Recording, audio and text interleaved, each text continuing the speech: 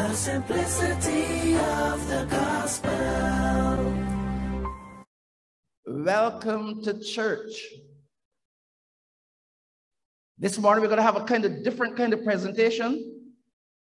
I've invited some persons to help me preach the message today, and I'm sure that you're going to get something from whatever we present today.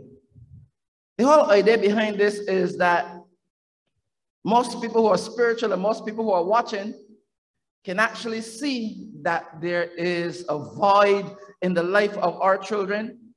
Our children are hearing the wrong things. They're not reading the Bible. They don't know what the Bible says. And I think it's the responsibility of the church to make a great effort to make a great effort to get some Bible into our children before it's too late. So we do this in Sunday school, but I just thought we'll do it this morning because the things that we want to talk to these children about, the children are not here on Sunday night, they're not here on Thursday night. So once a month, we're going to just pull aside and we are going to address the children. Is that okay with you? Somebody said children are age 1 to 101. So if you're any, anywhere between that, you're going to be able to benefit. What, what we're talking about then, and if you're following television and whatever, you'll, you'll, you'll hear the word a biblical worldview or a Christian worldview. By that I mean, if you put on uh, spectacles, glasses that are pink, you're going to see everything pink. If you put on blue, you're going to see everything blue. Put the Bible in, in place of your spectacles. And everything that you say, everything that you do, every place you go, or whatever, we want you to see the Bible. Your question should be, what does the Bible say about this? What does God say about this? This is not where our children are going. They're hearing everything but LGBT. Um, they're being affected with homosexuality.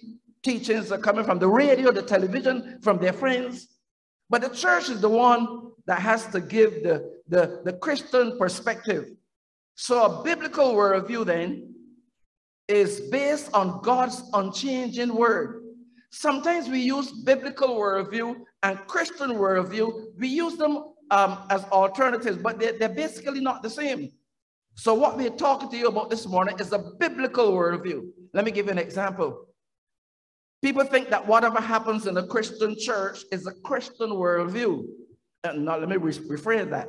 People think that whatever happens in the Christian church is a biblical worldview. That's not true. Because some denominations are knowingly appointing homosexual men married to other men as bishops in the church. That's a Christian worldview because it happens in the Christian church, but that is certainly not a biblical worldview. So what we're asking us all to do is look at things from a biblical perspective. There's some other perspectives that you'll hear when you go to places of higher education. You will hear about a secular worldview. That is a worldview that teaches the beliefs in matter and, and that there's no absolute truth. Nothing, everything varies. Nothing is true. That is called the secular worldview. And then they have the scientific worldview where people believe only on things that they can prove scientifically. If it doesn't happen in a petri dish or, or something like that, they don't believe it. So you have the secular worldview, you have the scientific worldview, and then they have another worldview called the postmodern worldview. And they believe that there's no absolute truth. They will tell you, well, there's no truth. It all depends. But we want to get our children into the biblical worldview. We want them to know what the Bible says about killing. We want them to know what the Bible says about sexuality. We want them to know what the Bible says about obedience, about forgiveness. If you listen to children talk to you today, you wonder if they have never ever seen a Bible before. So we're going to do our job to try to tell our children about this. Praise the name of the Lord. This is indeed a good day, nice, bright, and shiny, to give all the honor and glory and praise to God for his goodness towards us. Why do we believe the Bible? Why do you believe the Bible? Is it because you've heard people say you should believe it. It's because your conscience tells you it is the right thing to do. Do you feel pressured to believe? If you say you don't believe, you might be victimized. It's a whole lot of reasons. We're going to look this morning at the origin of the Bible. The word origin suggests the first idea. Not the first time something started, but the very first idea concerning that thing. So the origin of the Bible did not start with us, it started with the creator of all things, the creator of heaven and earth. It started with the one who was there before all things, the one who spoke all things into being. My objective this morning is to show from scripture that the Bible came from God. My aim is that each child, each person will know and understand and be convinced in their own hearts that the Bible is not just a storybook. It's not just a storybook. In the world, there's a common misunderstanding by a lot of people, the intelligentsias, of course, who are saying, and they're teaching publicly, that the Bible was written by the King of England called King James I. In truth and in fact, he did not, the Bible did not originate with him. He got some men to translate what originated with God into different languages. So we have the King James Version, which we are very comfortable with. The truth is, however, that the Bible was written, as I said, the idea started with God, but it was not written by King James. It was written by holy men, not any kind of man, not a riffraff, not a drunkard, not a man who didn't know anything about the Creator, but it was written by holy men. Second Peter chapter 1, verses 20 to 21 tells us, knowing this first, the first thing you need to know is that no prophecy of the scripture is of any private interpretation. You can't just jump up and decide this is what God means. It is not of any private interpretation. For the prophecy came not in all times by the will of men, men didn't just jump up and say, but holy men of God spoke as they were directed by the Holy Ghost.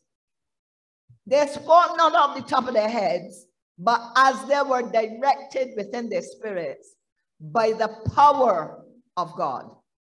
So, children in particular, you can think about this. What makes our Bible different from any other storybook? Because we hear the Bible is a storybook. It tells a lot of stories about Joseph and Daniel and the lions and all this. What makes the Bible different? What makes the Bible different from the story of the three little pigs? What makes it different from the story of Little Red Riding Hood? What makes it different from the story of Rumpelstiltskin? They're stories and they're good stories. We've enjoyed them when we were children. They're good stories.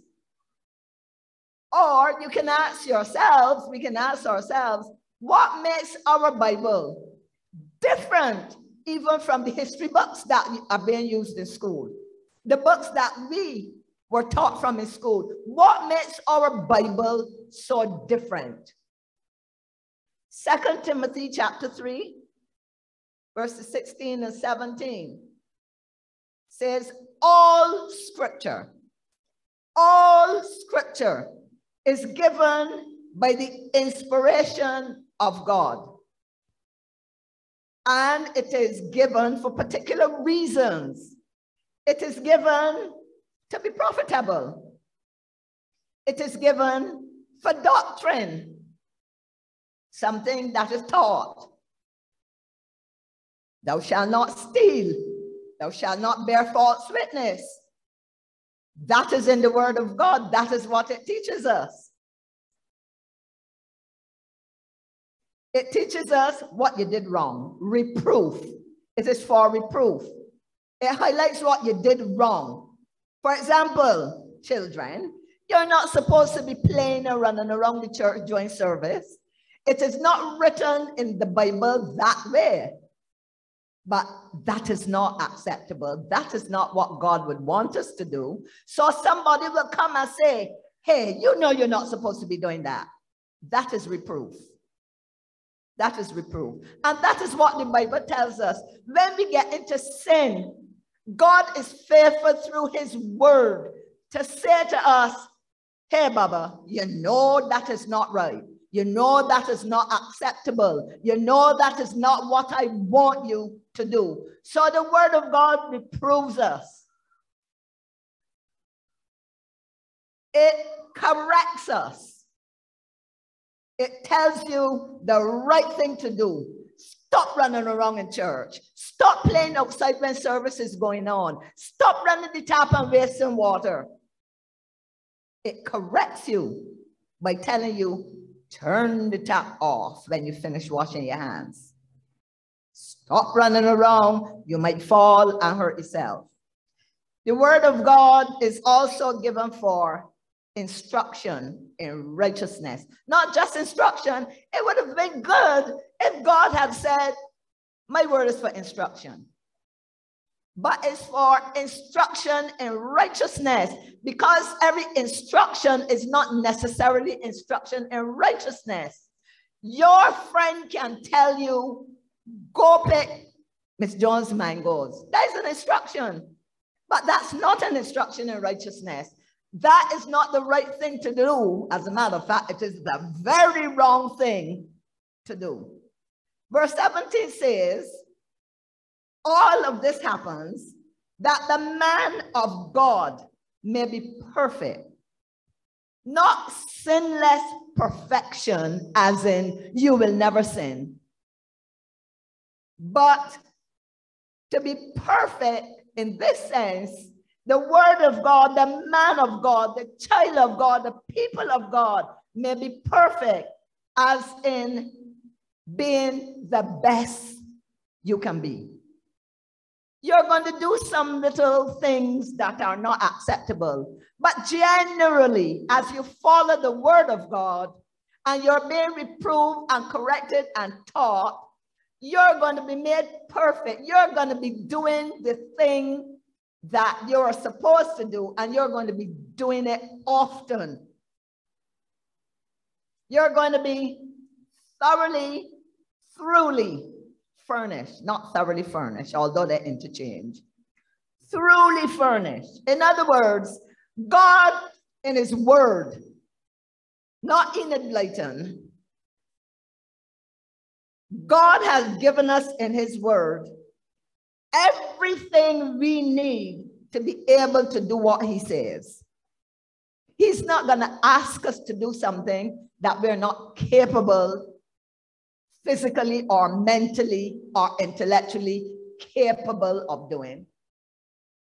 If he says, Thou shalt not steal, kids, are we not capable of not stealing? Is that a yes or no? You're capable of not stealing. If the word of God says, when the word of God says, Thou shalt not bear false witness or tell lies upon somebody else, are we not capable of doing that? We are truly furnished. God has given us the ability, the intellect, the basic common sense, and, and that moral thing that stirs inside our spirits to tell us when we are doing right and when we are doing wrong. So we are truly furnished unto every good work. We are able to do exactly exactly what God says.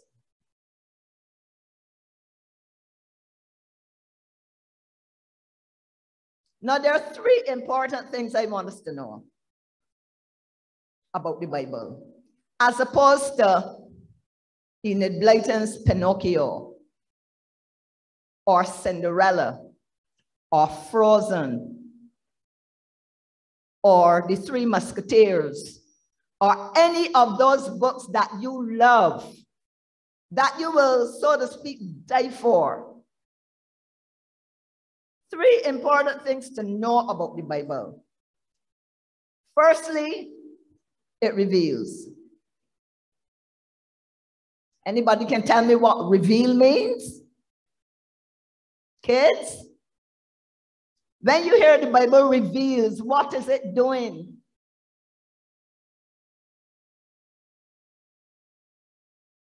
It shows something. When something is revealed, excuse me, that suggests that you didn't know it before. You didn't even know that it was there. But you come across it. How do you come across it in the Bible? God reveals his word. In his word, God tells us the thing we did not know was right or wrong. God tells us, and the Holy Spirit bears witness with us that that is what God says. So it reveals, it shows how God created us to behave, as well as the things we should do to please Him. So if you didn't know that stealing would not please God, God tells us now in His Word, He reveals to us through the Holy Spirit, thou shalt not steal. So we know now we're not supposed to steal. It for the older folk, it illuminates. For the little ones, it brings a clear picture and make things simple so that we can understand. Thirdly, it gives instructions and rules as to how God expects us to live. Instructions and rules as to how God expects us to live. None of the other books that we read, none of the other books that we use in school do this. So those three important things you need to know is that it shows, it makes things clear, and it gives instructions.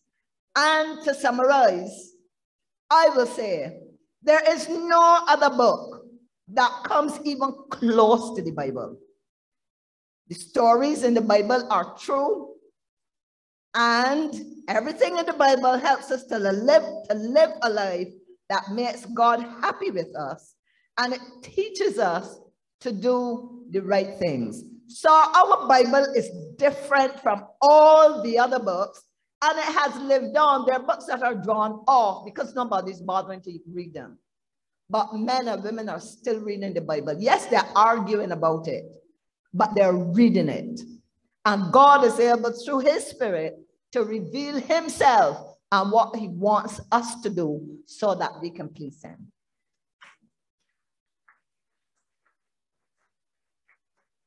The simplicity of the gospel.